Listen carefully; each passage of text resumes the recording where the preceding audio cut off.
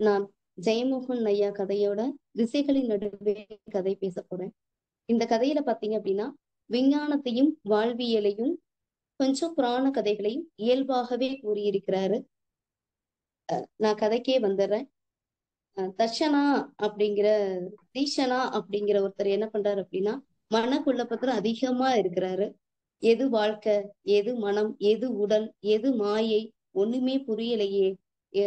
நிறைய ரிஷி முகங்களோட இதெல்லாம் எனக்கு ஞாபகம் வருதே அப்படின்னு சொல்லிட்டு ரொம்ப மனக்குழப்பத்துல இருக்கிறாரு.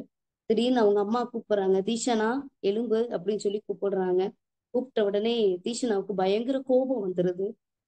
என்ன பண்ணணும்ன்ற? இப்ப எதுக்கு என்ன கூப்பிடுற? அப்படின்னு ரொம்ப கோவப்படுறாரு. கோவப்பட்ட உடனே அழுகுறாங்க. அழுத உடனே அவன் சொல்றான் இப்ப என்ன அவனை இப்ப அவனை பார்த்து பேசி கொஞ்சணுமா? எதுக்கு இப்ப என்னை கூப்பிடுற? அப்படின்னு சொல்லிட்டு ரொம்ப கோபமா கேக்குறாப்ல. அப்படி கேட்ட உடனே அந்த அம்மா சொல்றாங்க நிறைய நீ படிச்சிருக்கிற நிறைய புத்தகங்கள் சுவடிகள்லாம் படிக்கிற என்னோட மனம் உனக்கு புரியலையா?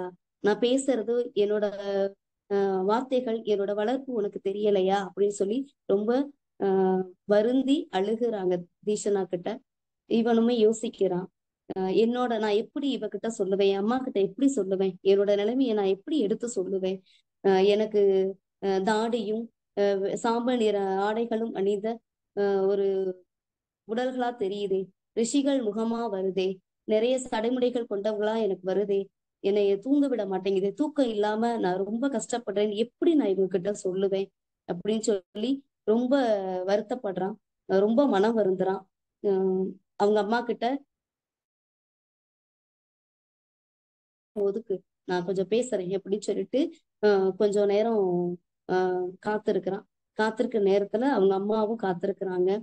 ஆஹ் இவன் சொல்லிட்டு இவங்க அம்மாட்ட சொல்லிட்டு வேகமா வீட்டுள்ளுக்கு போயிட்டு ஊஞ்சல்ல படுத்துக்கிறான். ஊஞ்சலோட சத்தம் க்ரீச் க்ரீச்னு சவுண்டு கேக்குது. கேட்ட உடனே ஆஹ் அவன் அப்படியே சிந்திக்க மறுபடியும் ஆள் சிந்தனைக்கு போறான். உடம்பெல்லாம் வேக்குது அஹ் ந- நரம்பெல்லாம் நடுங்குது.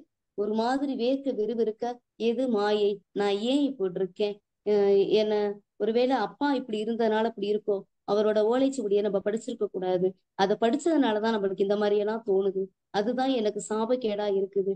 இயல்பா ஏன் என்னால இருக்க முடியல? தூக்கமே வரமாட்டேங்குது. ஏன் மண்டையெல்லாம் பிக்கிது? ஒண்ணுமே புரியலையே. அப்படின்னு ரொம்ப அது ரொம்ப அதீத மனக்குழப்பத்துல அதீதமா யோசிக்கிறான். அதீத சிந்தனை அவனுக்கு. என்ன பண்றதுன்னே தெரியல. மறுபடியும் அவர்கள் அம்மா அழைக்கிறாங்க. ஈஷனா அப்படின்னு சொல்லி அழைக்கிறாங்க. மறுபடியும் கோபப்படுகிறான்.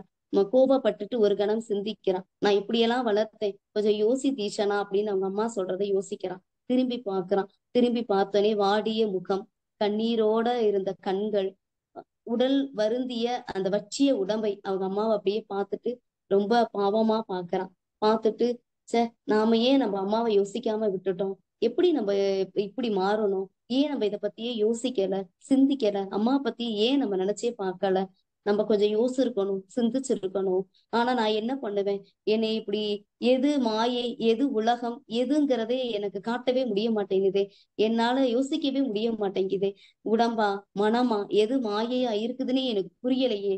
நான் என்ன பண்ணுவேன்? நான் எப்படி என்னோட நிலைமை எடுத்து சொல்லுவேன்? அப்படின்னு சொல்லிட்டு ரொம்ப வருத்தப்படுறான். ரொம்ப வேதனைப்படுறான். அப்படி இருக்கிற சமயத்துல மறுபடியும் இவங்க அம்மா கூப்பிடுறாங்க தீஷனா எதை பத்தியும் நீ யோசிக்காத நான் சொல்றத கேளு இங்க வா அப்படின்னு சொல்லி அடைக்கிறாங்க. இவனும் போறான். போன உடனேயே என்ன பண்ணணுங்கிற சொல்லு இப்ப அப்படின்னு சொல்றான். நீ ஏன் இப்படி இருக்கிற? எல்லாரும் மாதிரி இயல்பா இருக்கலாமே அப்படின்னு சொல்லி கேக்குறான் உடனே இவன் சொல்றான் இப்ப என்ன என்ன பைத்தியக்காரங்கிறியா அஹ் நான் என்ன ஆஹ் கிறுக்கேன்னு சொல்ல வர்றியா? நான் சுவா- சுவாதீனம் இல்லாதவன் சொல்ல வர்றியா? அப்படின்னு கோபப்படுறான் அப்படியெல்லாம் இல்ல அது தீஷனா எல்லாரும் போல இயல்பா எல்லாரும் கூடயும் பேசு பழகு. ஏன் இப்படி ஊஞ்சலே படுத்திருக்க? ஏன் இப்படி ஒரு அறையிலேயே அடைஞ்சு கிடக்குற? ஏன் இப்படி எதையாவது யோசிச்சுக்கிட்டே சிந்திச்ச மயமா இருக்கிற? அப்படின்னு சொல்லி சொல்லுவான் உடனே அதை உடனே அவன் யோசிக்கிறான். உம் நான் என்ன பண்றது? நான் வருகிறேன். போ காத்திரு அப்படின்னு சொல்லி அவங்க அம்மாவை கொஞ்சம் கோபமா கொஞ்சம் சொல்லி கொஞ்சம் அனுப்பி விட்டுறான். அனுப்பி விட்டுட்டு இவனும் யோசிக்கிறான். நம்ம நல்லா தெளிவா தானே யோசிக்கிறோம். எது மாயை எது உடம்பா? இந்த உடம்பு கை இருக்கு கால் இருக்கு எல்லாமே இருக்கு. எது மாயை மனசா? மனசு என்னென்னமோ யோசிக்குதே. ஆஹ் பொருளுக்கு ஆசைப்படுது. இன்பத்துக்கு ஆசைப்படுது. இசைகளை கேட்க தோணுது. எது மாயை? அப்படின்னு சொல்லி ரொம்ப ஆழ்ந்து சிந்திக்கிறான். ரொம்ப குழப்பத்துல இருக்கிறான். திடீர்னு அப்படியே ஆஹ் ஆஹ் உடம்பு வியர்க்குது நரம்பெல்லாம் புடைக்குது. கண்கள்லாம் ஒரு மாதிரியா இருக்கு. தூக்கமே வரல. ரொம்ப உழண்டுட்டு கிடக்குறான். அவனுக்குள்ளேயே பயங்கர ஒரு உளைச்சல். அப்படி உழண்டுட்டு இருக்கையில அவன் அறியாமே தூங்க ஆரம்பிச்சிடுறான். திடீர்னு சட்டன ஒரு சவுண்டு கேக்குது. விழிக்கிறான். அம்மா கூப்பிடுற தீஷனா எலும்பு அப்படிங்கிற சவுண்டு கேக்குது. மறுபடியும் சத்தம் கேக்குது. சத்தம் கேட்ட உடனேயே அஹ் எழும்புறான். எழும்புனோடனே என்ன? என்று கோபமாக கேட்கிறான். அஹ் இங்க ஊரெல்லாம் மகதான விழா நடக்குது. நீ மட்டும் இப்படி அறைக்குள்ள இருக்கிறது சரியா? நீ எழும்பி வாயே வா அப்படின்னு சொல்லி கூப்பிடுறான் வருகிறேன் அப்படின்னு சொல்லிட்டு வேகமா கொஞ்சம் மெதுவா அப்படியே நகர ஆரம்பிக்கிறான். நகர ஆரம்பிச்ச உடனே இவர்கள் அம்மா வந்து கொஞ்சம் பயப்படுறாங்க. பயப்படாத நான் ஒண்ணும் எங்கேயும் தொலைஞ்சு போயிட மாட்டேன். ஆஹ் காணாம இது பண்ணிட மாட்டேன். நான் இங்கதான் இருப்பேன். பயப்படாத. அப்படின்னு சொல்லிட்டு அந்த அறையை விட்டு மெல்ல எழும்பி வர்றான். எழும்பி வர்றதுக்குள்ளே ஏகப்பட்ட குழப்பங்கள் ஏகப்பட்ட ஆஹ் அவனுக்குள்ள கேள்விகள். எது மாயை எது உலகம் இதுவா அதுவாங்கிற நிறைய குழப்பங்கள் நிறைய மன உளைச்சல்கள் கூட நிறைய ஏற்கனவே உழன்று அவனுக்குள்ளே உழன்று கொண்டு இருக்கிறான். அந்த வீட்டு வாசப்படியை விட்டு அப்படியே நகர்ந்து வர்றான். நகர்ந்து வந்துகிட்டே இருக்கிறான். அப்படியே வெளியில வந்து பார்க்கும்போது திருவிழாக்கள் கோலங்கள் அதாவது ஆஹ் அந்த சீரியல் லைட் எல்லாம் போட்டு இருக்கிறது அலங்காரம் பண்ணியிருக்கிறது குழந்தைகளோட சிரிப்பு பெண்களோட முக மலர்ச்சி ஆடை அலங்காரம் ஆஹ் ஒரு சில ஒரு சில ஆஹ் ஆடை அணிகளும் தொடரக்கூடிய கதாபாத்திரங்கள் நிறைந்த அந்த விழாக்களை பார்க்கிறான். ஒவ்வொருத்தரையும் ஒவ்வொரு விதமா அப்படியே பாக்குறான் பார்த்துட்டு அப்படியே ஆச்சரியப்படுகிறான். நம்மளை இதுல உட்படுத்திக்கலாமா வேணாமா? இது இது இப்படி போக கூடாதே இது சரியல்லவே அப்படின்னு சொல்லிட்டு இது இது வந்து இப்படி இதுக்குள்ள போனா நம்ம வந்து காமத்துக்குள்ள இச்சைக்குள்ள நம்ம வந்துடுவோம் ஆசை வந்துடும் இதெல்லாம் சரியில்லை கட்டுப்படுத்திக்கணும் அப்படின்னு சொல்லிட்டு தன்னை தன்னை என்ன பண்ணிக்கிறான் அப்படின்னா ஆஹ் கட்டுப்படுத்திக்க முயலுகிறான். இருந்தாலும் சரி இயல்பா மனசு போற போக்குல அப்படியே இயல்பா விட்டு பார்ப்போமே அப்படின்னு சொல்லிட்டு இயல்பா அப்படியே விடுறான். அங்க இருக்கிறது ஒவ்வொன்றையும் அவனையும் மறந்து என்ன பண்றான் அப்படின்னா அப்படியே ரசிக்க ஆரம்பிக்கிறான். ரசிச்சுக்கிட்டே இப்படியே பார்த்துக்கிட்டே வரையில இடையில எது மாயை? மனசா மனசுதான் மாயை. நான் என்ன காண்கிறோனோ அதுதான் நிஜம். இதுதான் உண்மை அப்படிங்கிறத உணர்றான். இதுதான் நிஜம் இதுதான் உண்மை இதுதான் சத்தியம் அப்படிங்கிறத அவன் உணர்றான். அப்ப மனசுதான் மாயை. மனசு என்னென்னவோ யோசிக்குது எதையோ சிந்திக்குது. அப்ப மனசுதான் மாயை. அப்ப உடம்புதான் நிஜம். உடம்பு அதாவது மலமும் இதுவும் தேங்கி இருக்கிறது வந்து உடம்புனா உடம்புதான் நிஜம். அஹ் உடம்பு இருக்கிற வரைக்கும் நான் இருப்பேன். நான் உடம்பு இல்லை அப்படின்னா நான் இல்லை அப்படிங்கிறத அவன் உணர்றான். அப்படியே அந்த திருவிழா காலத்துல அப்படியே பாக்குறான் பார்த்துட்டு அப்படியே நகர்ந்துகிட்டு இருக்கிறான். அப்படியே இருந்திருந்தாப்புல அந்த மக்களோட கூட்டத்துல திரு திடீர்னு சலசலப்பு ஏற்படுது. அந்த சலசலப்பை கண்டு இவனும் அப்படியே பாக்குறான் இல்ல என்ன தே- ச- சடனா சலசலப்பு இருக்கே அப்படின்னு. ஓ அவன் பக்கத்துல ஒருத்தன் வந்து சார்வாகன் சார்வாகன் அப்படின்னு கத்திக்கிட்டே வர்றான். கத்திக்கிட்டு வந்த உடனே சார்வாகனா? நானும் அவனை பார்க்கணுமே. எங்கே எங்கே? அப்படின்னு இவனும் கேட்கிறான். அங்க பாரு அங்கதான் சார்வாகன் இருக்கான். சார்வாகன் அங்கதான் அப்படின்னு சொல்றான். சார்வாகனை கண்ட உடனே இவனும் மெல்ல அப்படியே திரும்பி பாக்குறான் இந்த தீஷனாவும் அந்த சார்வாகனை பாக்குறான் பார்த்த உடனே அவனும் ஆஹ் உடம்புல துணி எதுவும் இல்ல. ஆஹ் உடம்பு ஃபுல்லா சாம்பல் அணிஞ்சிருக்குது. சாம்பல் ஃபுல்லா இருக்கு. முடி வந்து ஒரு மாதிரி முடிச்சுகள் போட்டு ஒரு மாதிரியா இருக்கு. உம் கையில ஒரு இது வச்சிருக்கிறான். அந்த தண்டு மாதிரி ஒண்ணு வச்சிருக்கிறான். அஹ் இதுதான் சார்வாகனா ஆஹ் இவனைத்தான் பார்க்க வேண்டும் என்று மிக ஆவலாக இருந்தேன். அப்படி சொல்லி இவனும் என்ன பண்றான்? தீட்சணாவும் அந்த சார்வாகனை பாக்குறான் சார்வாகன் பக்கத்துல அவன் அந்த கும்பலெல்லாம் தாண்டி சார்பான் பக்கத்துல போகணும்னு ஆசைப்படுறான். பக்கத்துலயும் போயிட்டான். நிறைய கும்பலுக்கு போனதுக்கு அப்புறமா ஒரு பெரிய சலசலப்பு இருக்கு. அந்த சலசலப்பு என்னன்னா சார்பாகன் வந்து சத்தம் போடுறான். மூடர்களே மக்களே எது எதை நோக்கி நீங்க எல்லாம் இப்ப போய்கிட்டு இருக்கீங்க? யார நீங்க கும்பிட்டுட்டு இருக்கீங்க? இந்த ஆரியனையா இந்திரனையா மோட்சம் தேடியா நீங்க எல்லாம் சாமி கும்பிட்டுட்டு இருக்கீங்க அப்படின்னு சொல்லி இந்த சார்வாகன் வந்து என்ன பண்றான் அப்படின்னா அவன் வைத்திருக்கிற அந்த தடியை அந்த உம் யோக தண்டு வச்சிருப்பான். அந்த யோக தண்டை வானத்தை நோக்கி மூணு தடவை நீட்டி யாரு என்கிட்ட கேள்வி கேட்கிறீங்க? யாருக்கு என்ன சந்தேகம்? யாரு என்னை எதிர்த்து கேள்வி கேட்க யாரு இருக்கா? அப்படின்னு சார்பாகன் வந்து என்ன பண்றான் அப்படின்னா சத்தம் பண்றான் சத்தம் போட்டு கேட்கிறான். அப்படி கேட்ட உடனேயே ஆஹ் இவனும் அதை கவனிக்கிறான். தீட்சனாவும் அதை கவனிக்கிறான். உம் எதை மக் மூட மூடர்களாகிய மக்களே ஆஹ் நீங்க எல்லாம் முட்டாள்கள். நீங்க எல்லாம் எதை நோக்கி போறீங்கன்னே தெரியல. ஆஹ் உலகம் வந்து எது நீங்க நினைக்கிறீங்க? மறுமையை நோக்கி போறதுதான் உலகமா? இம்மையில இருக்கிற இப்ப இருக்கிற இந்த இன்பத்தை அனுபவிங்கள் அதுதான் உலகம். காமம் தான் அந்த அடையிறது தான் தர்மம். ஆஹ் அதை அடையக்கூடிய உபகரணம் தான் பொருள். அஹ் மோட்சம் அப்படிங்கிறது மரணம். இதுதான் மனுஷனோட வாழ்க்கை. இதை நீங்க உணருங்க அப்படின்னு சொல்லி இந்த சார்வாகன் என்ன பண்றாரு அப்படின்னா அவரோட உபதேசத்தை அப்படியே கடந்து சொல்லிக்கிட்டே அந்த அரசரை தேடி அஹ் அந்த அரசவை தேடி போய்கிட்டே இருக்கிறார்.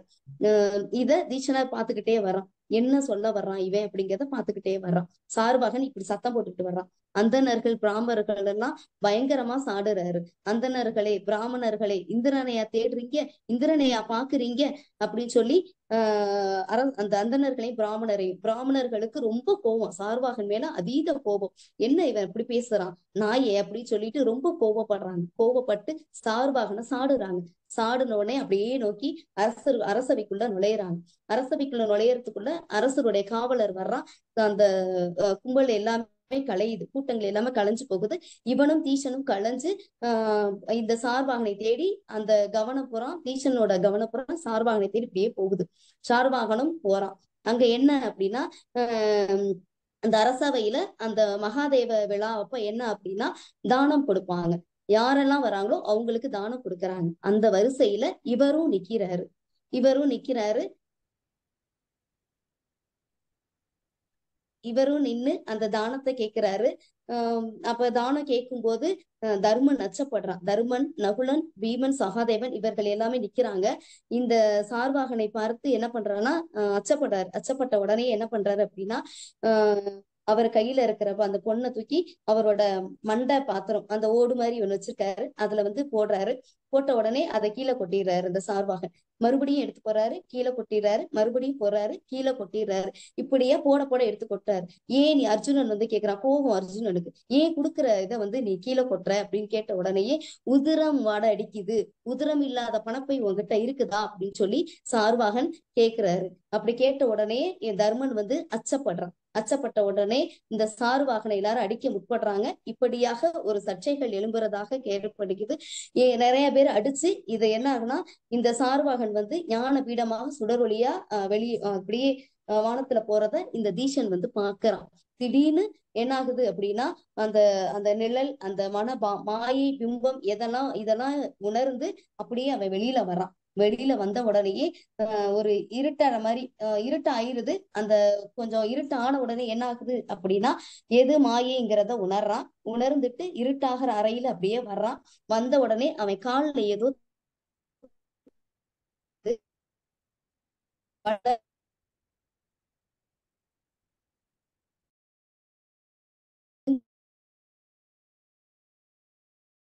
சொல்றத கேக்குறான் பாக்குறான் பார்த்த உடனே யோசிக்கிறான். அப்புறம் ஒரு தெளிவுக்கு வர்றான். இது பாம்பு இல்ல இது அஹ் சார்வாரோட யோகத்தண்டு அப்படிங்கிறதோட இந்த கதையை வந்து ஜெயமோகன் ஐயா வந்து முடிச்சிருக்கிறாரு. இதோட கதை வந்து நிறைவு பெறுது. ஜெயமோகன் ஐயா வந்து நான் ஒரு தடவைக்கு மூணு தடவை படிச்சேன். சாதாரணமான இயல்பான அவரோட கதையை நான் இப்பதான் படிக்கிறேன். நாவல்கள் கதைங்கிறதே நான் இப்பதான் முதன்மையா உள்ளுக்க வர்றேன். ஆனா படிச்ச உடனே ரொம்ப ஆச்சரியமா இருந்தது எனக்கு. ரொம்ப அப்படியே ஆஹ் தத்ரூவமா அந்த வாழ்க்கைய இயல்பான வார்த்தைகளால அருமையா சூப்பரா அருமையா சொல்லியிருந்தாரு. எனக்கு ரொம்ப ஆச்சரியமாக இருந்தது. எனக்கு இந்த வாய்ப்பை கொடுத்த அஹ் வினோத் ஐயா அவர்களுக்கும் அஞ்சரை துண்டு இலக்கிய வட்டம் ஐயா அவர்களுக்கும் மிக்க நன்றி ஐயா. நன்றிங்கம்மா. சிறப்பான கதை குறித்த பார்வை. ஏன்னா அந்த மகாபாரத தொன்மம் அதோடு இணைத்து செல்லக்கூடிய அந்த அறிவினுடைய ஒரு புரிதல் ஆஹ் அதை கொண்டு பார்க்கின்ற அந்த உலகியல் பார்வை மிக அழகாக எடுத்துரைத்து பேசிய சகாயராணி அம்மா அவர்களுக்கு அஞ்சரை தும்பி இலக்கிய அமைப்பு நன்றியை தெரிவிக்கிறது. நன்றிங்கம்மா.